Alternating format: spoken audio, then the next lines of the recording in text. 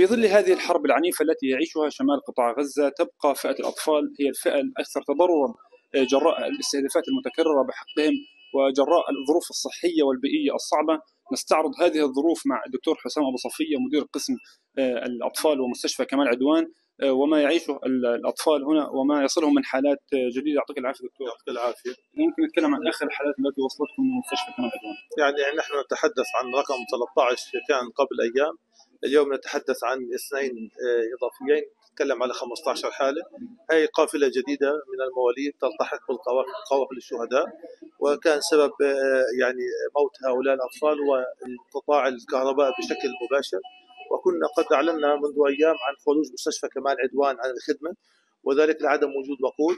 الحالات التي وصلت كانت بحاجة ماسة أن توضع على جهاز تنفس صناعي لسبب إنه كان في التهابات رئويه حادة. عرفنا إنه في بعض الحالات وصلت وتوفت في المستشفى من سوء التغذية.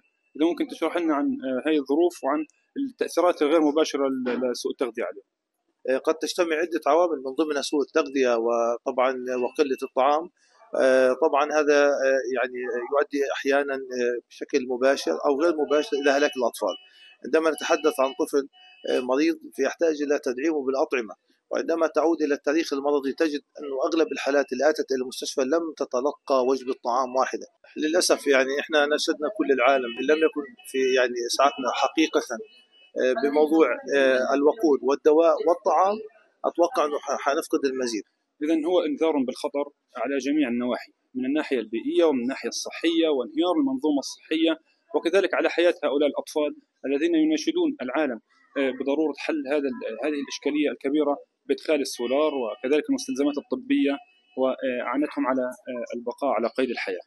من شمال قطاع غزة عبد القادر صباح لقناتي العربية والحدث.